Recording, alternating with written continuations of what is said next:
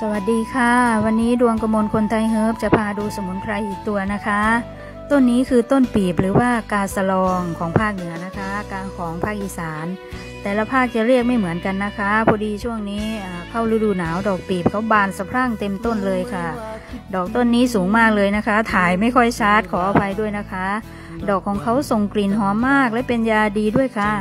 เก็บดอกของเขามาตากแห้งไว้ชงเป็นชาดื่มได้นะคะ เราใช้ดอกแห้ง 8-10 ดอก มวนเป็นบุหรี่สูบรักษาหืดนะคะ ขยายหลอดลมด้วย แก้ริดสีดวงจมูกไซนัสอักเสบ และยังบำรุงเลือดบำรุงน้ำดี เพิ่มการหลั่งน้ำดีด้วยบำรุงกำลังแก้ลม ดอกแห้งนะคะ ใส่ปนกับยาไทยมวลสูบทำให้ปากหอมด้วยนะคะ